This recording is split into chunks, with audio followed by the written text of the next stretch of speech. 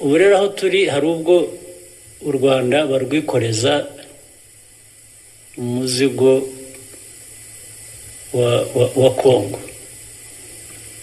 umuzigo wa kongo ukwiye kuba wikorerwa n'abanyekongo n'abayobozi ba kongo ntabwo ukwiye kuba wikorerwa n'u rwanda cyangwa abayobozi b'u rwanda. Eh, naho kandi bibaye igihe kinini batwikoreje u rwanda barwikoreje umuzigo wa kongo igihe kinini na byo birarambiranye iyo myaka mirongo itatu n'indi nyine ariko kwikoreza umu- umu- umuzigo wa kongo ni nko nko gukoreza umurambo w'impyisi kuko ahora uri aho uzi ngo eh? Nta- ntabwo ni cyo kibazo dufite. Dufite ibibazo byacu tugomba gukemura bitureba ntabwo twakwikorera abantu bose ibintu babijyamo ni ibintu bivanze byinshi bijyamo geopolitics bikajyamo politics z'amahanga nyine bikajyamo gushaka "Oh, kongo irakize ifite ibintu byose eh, abanyaburayi bati nituta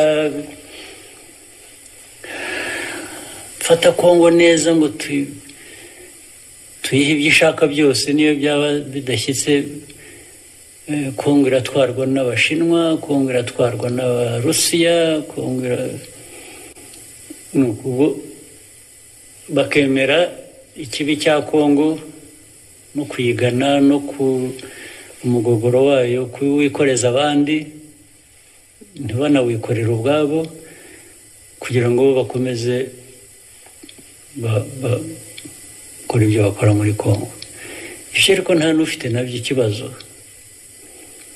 ngewe ujya gukura ibyo akura muri kongo yewe birandebaho iki gende bakure ariko baranshakaho iki kuki kugira ngo uvane ibyo ushaka muri kongo ugomba kunyikoreza ibibazo bya kongo nanjye ubwo mfite ikibazo ngomba kubabaza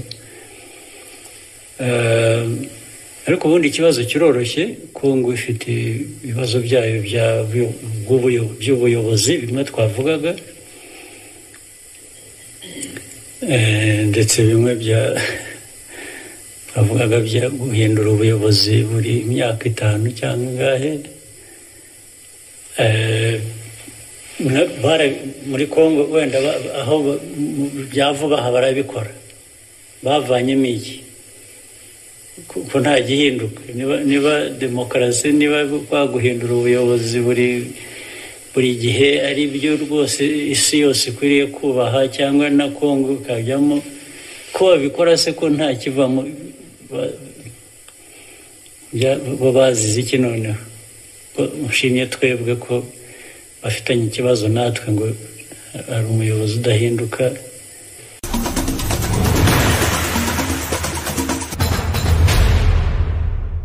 Nyakubahwa perezida wa repubulika ntabwo twabura kugaruka by'umwihariko ku mubano n'abaturage cyangwa se n'ibihugu duturanye hano mu karere.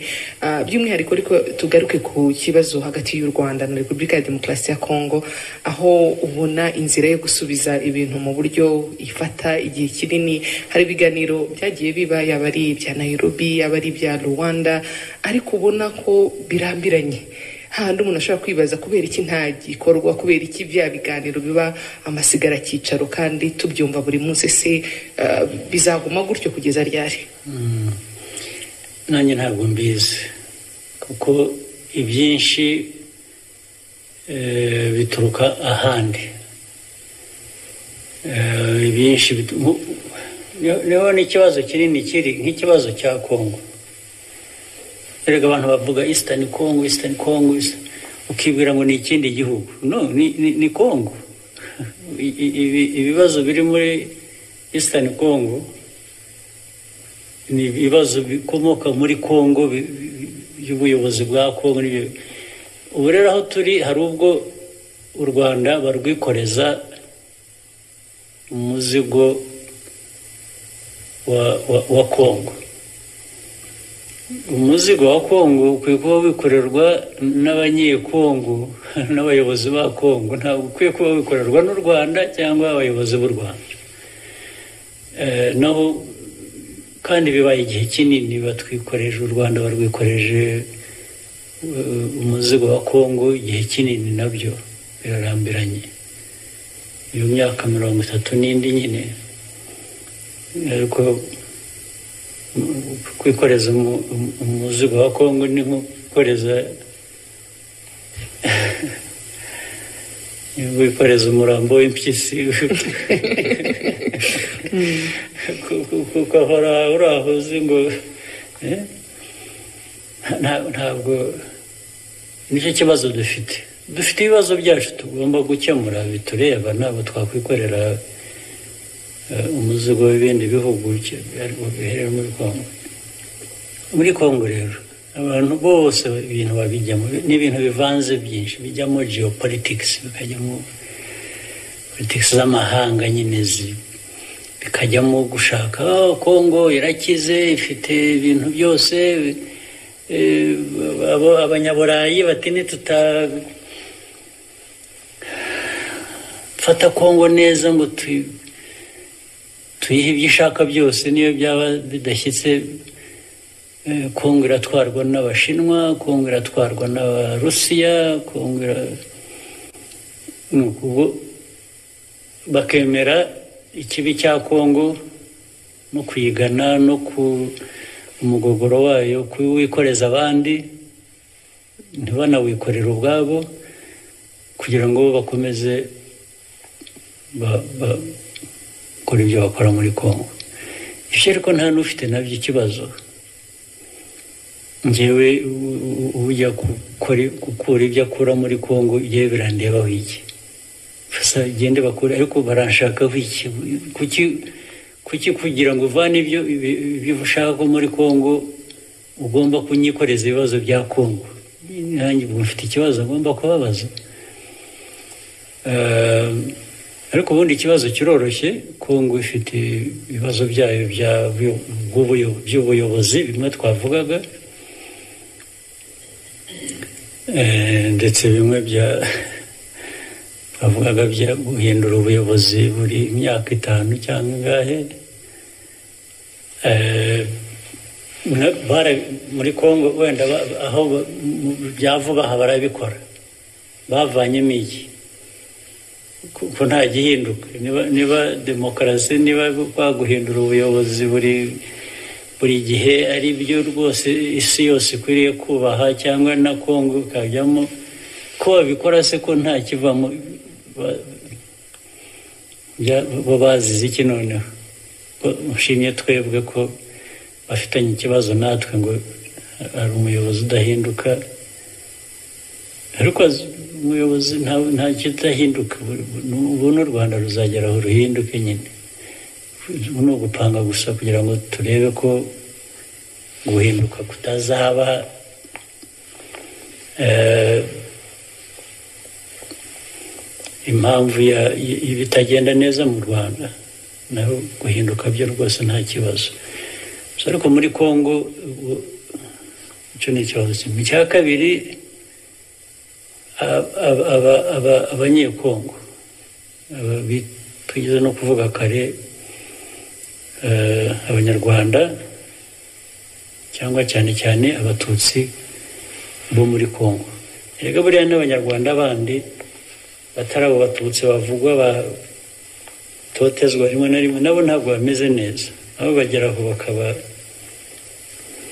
abanyarwanda bose b'abanyekongo ntibameze neza by'umwihariko abatutsi bo muri kongo ndetse niyo mpamvu na byo bakwiriye kuba byabibutsa kuba bashaka kubana bakabana hagati yabo ntiba- ntibashyirwemo amacakubiri nabo ngo biyumve nk'abatutsi n'abahutu na- iyo batangiye kubyibonamo nabo batyo ababatoteza ni ho babona icyuho cyo kubamerera nabi kandi bose.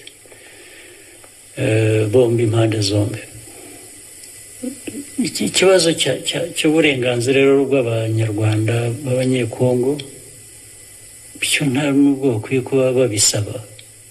Ni ibintu bagomba guhabwa no kuba batabihabwa bikavamo izi ntambara tubona ni- niko bimeze ubundi se babona ko bizaherera he ntabwo abantu bamwe uzabagira impunzi mu bihugu baturanye na kongo hari abari hano hari abari uganda ngira ngo hagomba kuba hari n'abari mu burundi. Eh, abandi barabica abandi babavana mu byabo kundi bigomba gushakirwa umuti. Uzabishakira umuti ni kongo ntabwo ari u rwanda ntabwo ari abandi. Eh, nta nubwo ari na un nta nubwo ari Eh, ikindi ni fdrr muzi fdrr bakoze amahonahono babisha abantu. Bari hariya kongo yabahaye intebe yabahaye uburyo ubu noneho ejo bundi yabahaye imbunda ibaha amasasu ibaha ibintu byose bagomba gukoresha kubarwanirira ariko intego ari ugutera u rwanda. Ibyo na byo ntabwo ari twe twabikemura. Ni kongo igomba kubikemura.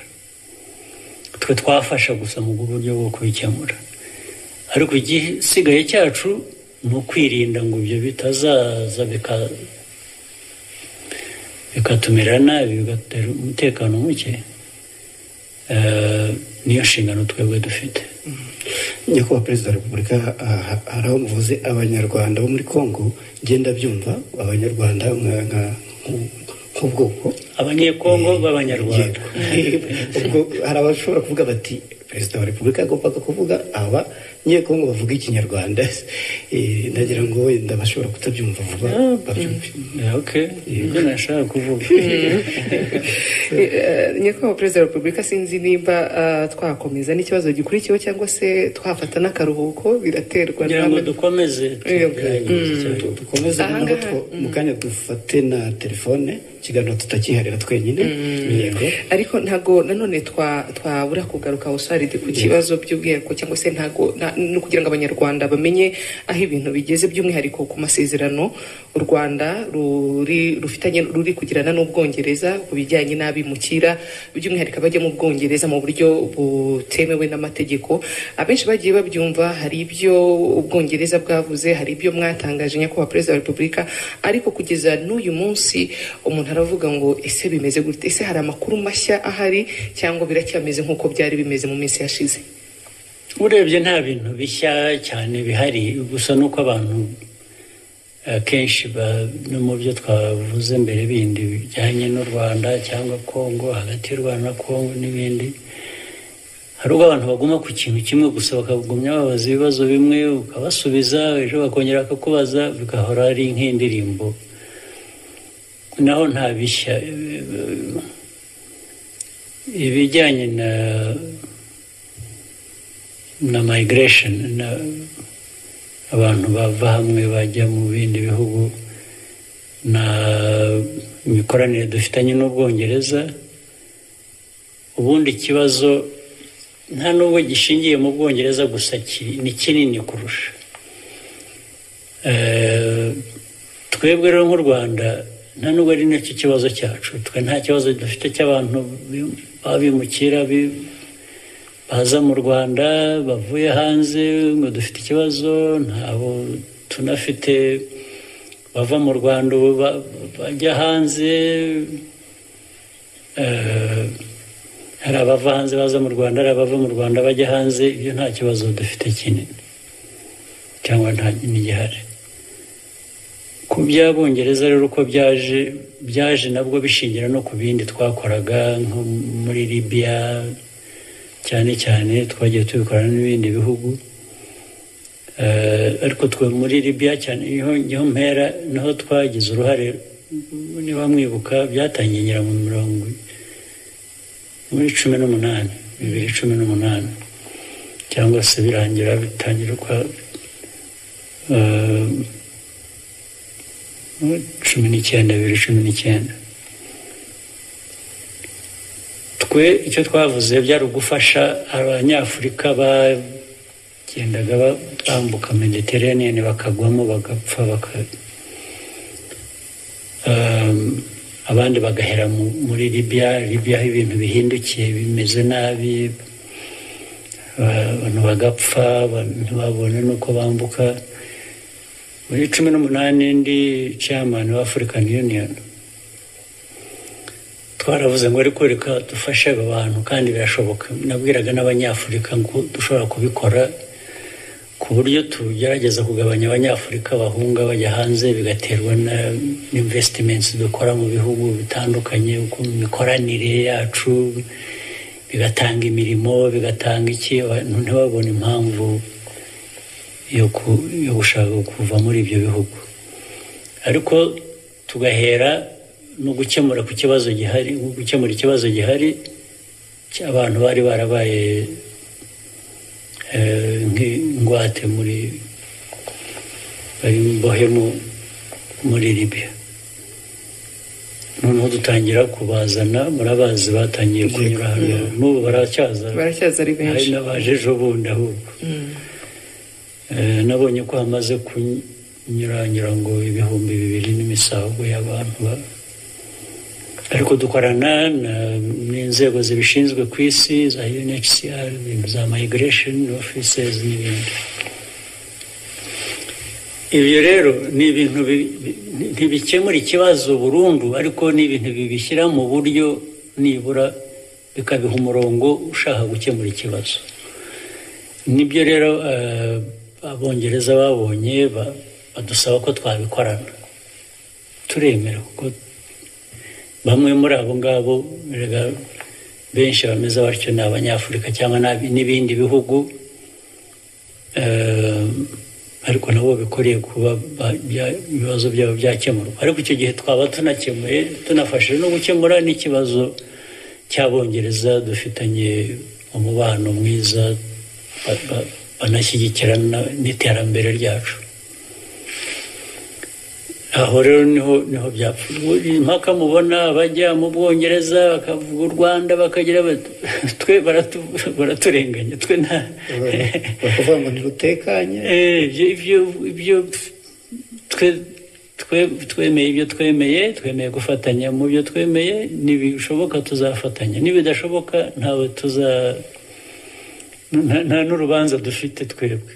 Yego. Eh, so ni uburyo bwo gufasha gukemura ibibazo.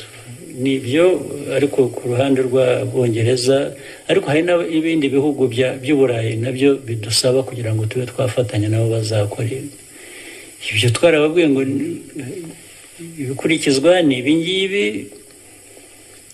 ni- mushobora twe muzatubwire tuziga ibyo muvuga n'ibyo ibyo ushaka dukora turebe ibitubereye tuzabemerera. Ibyo twumva bidakwiye tuzabahakanira.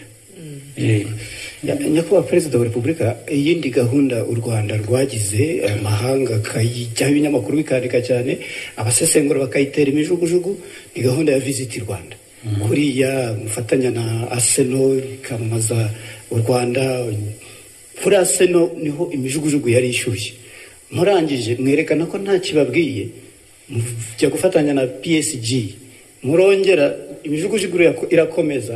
Mujya no kuri bayani municini tukavuga tuti ibi bintu bigomba kuba ahubwo bitanga umusaruro. Mwa- mwabiduhaho ishusho.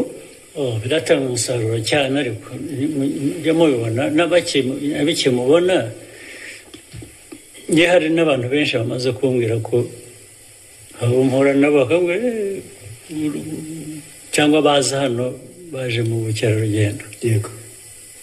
Bakavuga ko bamenye u rwanda bamenye n'ubwiza bw'u rwanda bwamenye ibyo u rwanda rutanga biturutse ku byo babonye muri ibi dukorana na asano cyangwa psg cyangwa bayani munich.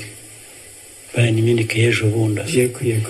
Bimaze kugeza ku badage amakuru y'u rwanda ku buryo tutigeze tubikora mu myaka y'indi muri iyi mirongo itatu ishize. Ako kantu gato nk'ako Eh, ikibazo rero uribaza ariko abavuze induru ikibazo kirimo ni bibarya hehe bafite? Eh, baravugaga ngo u rwanda rurakennye ntabwo rukwiye gutera inkunga gutera inkunga. Aseno Eh, aho ngaho ni injiji rwose. Ntawe dutera inkunga turafatanya ni partnership partnership buri wese afite icyo akora ntabwo dutera inkunga ntabwo ari gutera inkunga guteze ubundi twaba turi abasazi gufata inkunga ukayiha aseno cyangwa ukayiha bayani munich ntacyo uvanamo ugomba kuba uri umusazi ntabwo dufite amafaranga yo kujugunya hirya no hino. Nta- n'amafaranga dufite newe usibye n'ayo kujugunya nta n'andi dufite. Muri spain la liga hari ikipe na yo mutekereza kuba yakwamamaza. Visit u rwanda. Birahari hari byinshi tugenda tuvugana. Mu by'ukuri hari abizana. Yego. Reka mbe mbyihoreye ibyo ngibyo no Yego, nyakubahwa perezida wa repubulika turacyakomeje kugira nibitaba hatazagira ubinyishyuza yego.